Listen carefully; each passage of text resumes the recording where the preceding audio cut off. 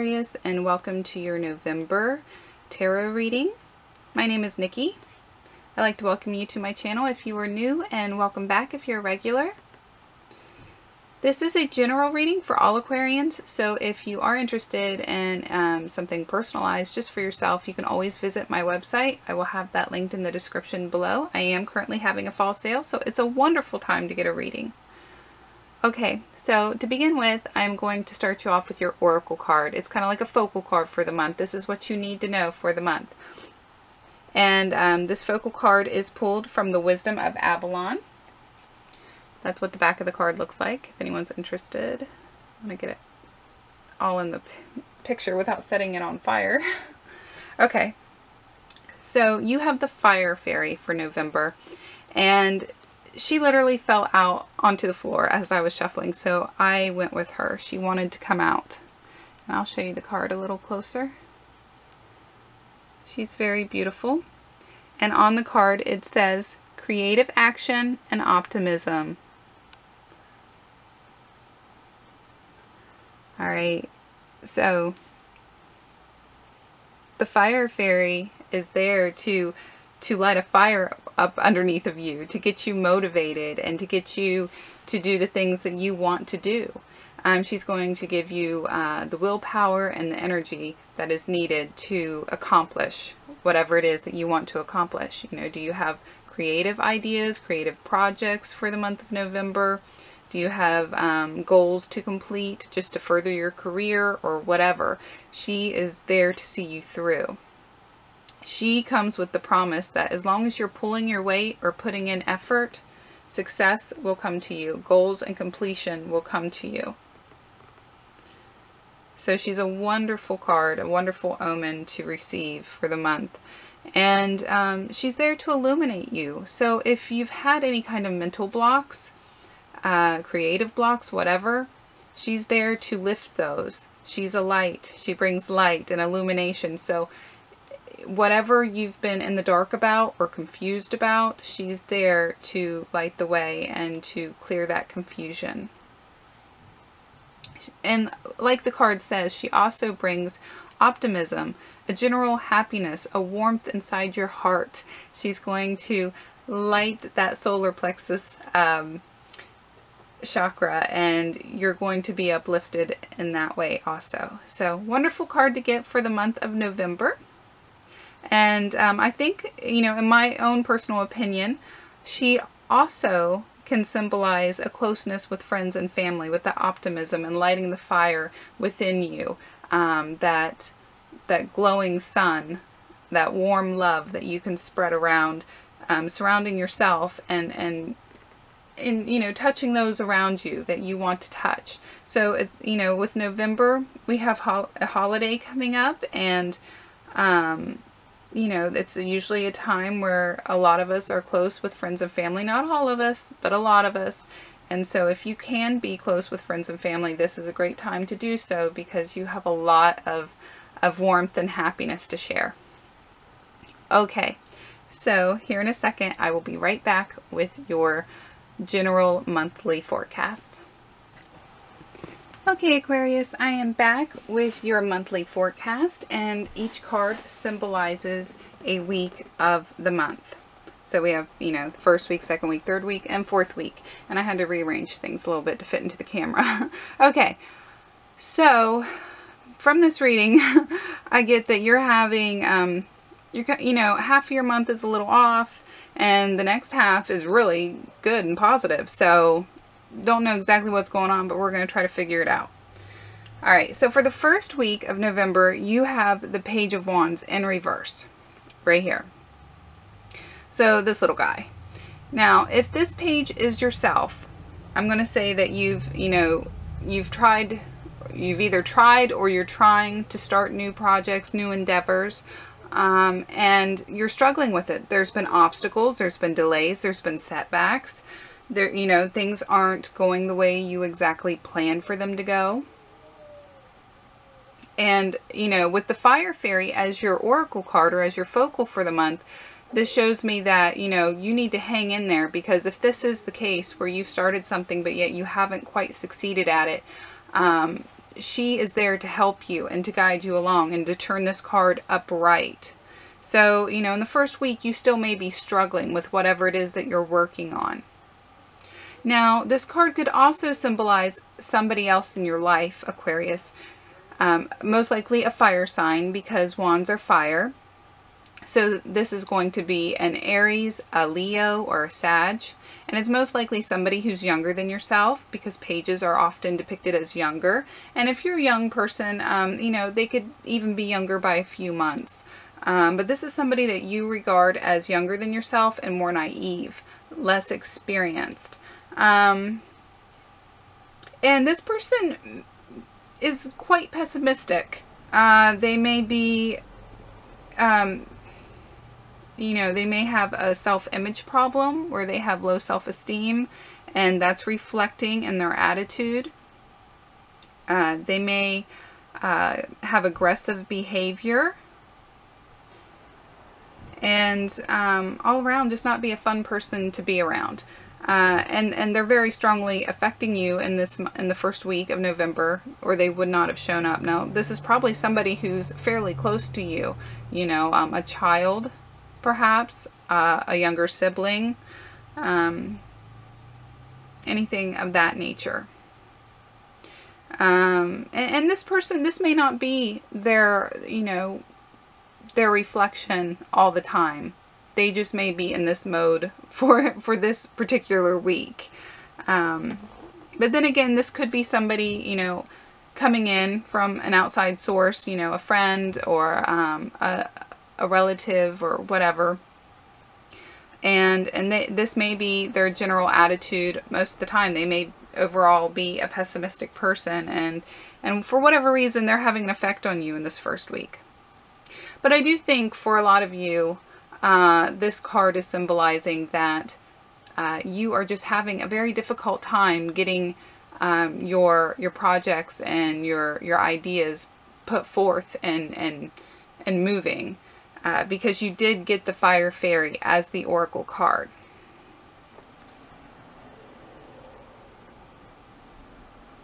Okay, for the second week of November, you have the lovers in reverse. Now, the lovers has a couple different meanings. Um, it can talk about love and being in love and, and all that, and we'll get to that. But um, the original meaning of the lovers was choice, about making choices and decisions and, and having consequences and things like this. Um, when the card's in reverse, this signifies to me that you may have made some kind of decision out of haste um, whether you've already did this or you're doing it on the second week, that's a possibility. This, you know, so what I'm trying to say is you may have already made this decision. And, um, and really, if this card indicates yourself, this page of wands, this could be you making a, um, an, an unresponsible or irresponsible, there we go, there's the word, irresponsible choice or decision in this first week. Um, and by the second week, you may be feeling the consequences of it. Um, or in the second week, you may be making this decision. Either way, there's some kind of bad decision that's being made. Uh, this could be just something done out of haste. Um, perhaps you didn't have time to think it through, or this was something that you just really, really wanted, and you didn't want to think it through because then you were afraid you wouldn't get it. Um, so some something that, that, you know, gave you instant gratification, but yet the long-term ramifications of it aren't so great. And, you know, when that happens, you may be blaming others for your decision, or you may be blaming um, life in general, fate, um, destiny, so to speak. God. Some people blame God for all the bad things that happen to them. So, um, so that is one interpretation of the lovers in reverse.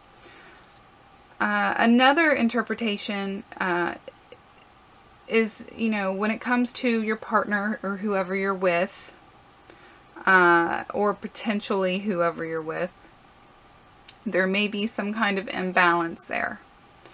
Uh, you may you may not be on the same page in the second week.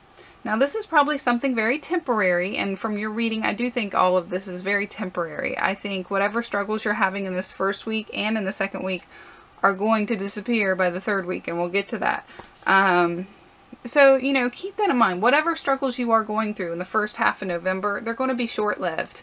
It's it's not going to be forever and and whatever consequences are going to come about from any kind of bad decisions made, um, it's not going to be too harsh. Uh, but yeah, if if this if the lovers in reverse pertains to any kind of love situation that you're in, um, it just shows that there may be some kind of imbalance. You may be um, on separate chapters in a book, you know. Um, they may be feeling one way and you're feeling another. They may be too busy for you or, or vice versa. And, you know, it could also indicate that maybe one person has strong feelings and the other one doesn't. So if you are, hopefully that's not the case if you are in a committed relationship. If you're single and looking for love and you have somebody, you know, in mind, uh, you know, you may feel very strongly for them, but they may not feel very strongly for you. Or it could be reversed.